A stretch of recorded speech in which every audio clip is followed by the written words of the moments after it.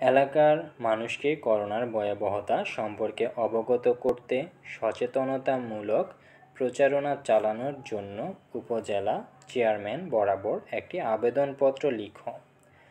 তো এখানে আমরা তারিখ, বরাবর উপজেলা চেয়ারম্যান জায়গার নাম দেওয়ার পরে বিষয় দিয়ে দিলাম করোনার ভয়াবহতা সম্পর্কে সচেতনতামূলক প্রচারণা প্রসঙ্গে। এরপর আমরা পরবর্তী পৃষ্ঠায় যাচ্ছি।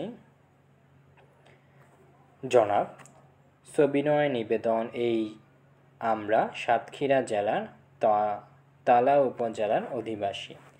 আপনি নিশ্চয়ই অবগত আছেন যে আমাদের উপজেলায় লক্ষাধিক মানুষের বসবাস, যাদের অধিকাংশই এখনও করোনা সম্পর্কে অসচেতন। ফলে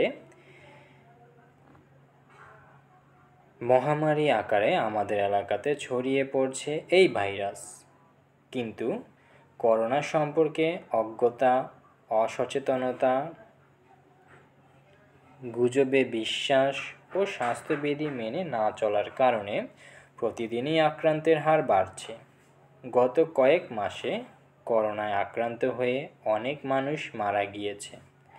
করোনা মহামারীর অজানা আতঙ্কে এলাকার মানুষ মনোবল হারাচ্ছে, যেখানে ব্যক্তিগত ও সামাজিক সচেতনতাই পারে করোনা মহামারী রুখতে।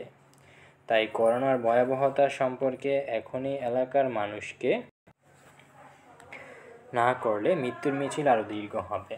অতএব আপনার নিকট একান্ত প্রার্থনা আমাদের এলাকার মানুষকে করোনার ভয়াবহতা সম্পর্কে অবগতির জন্য খুব দ্রুত সচেতনতামূলক প্রচারণা চালাবেন।